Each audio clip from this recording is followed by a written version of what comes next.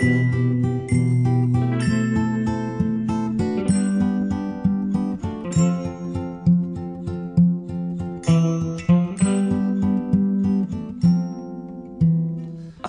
up both your eyes. Stay my show.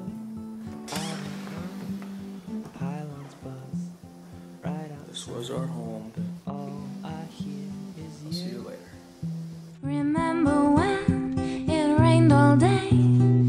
Playtime, locked away.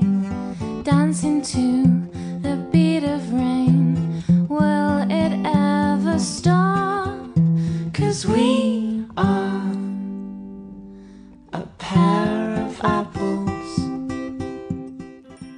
I imagine that if I write enough of this memory down, a plot will emerge despite my freewheeling approach. That's what herded words tend toward.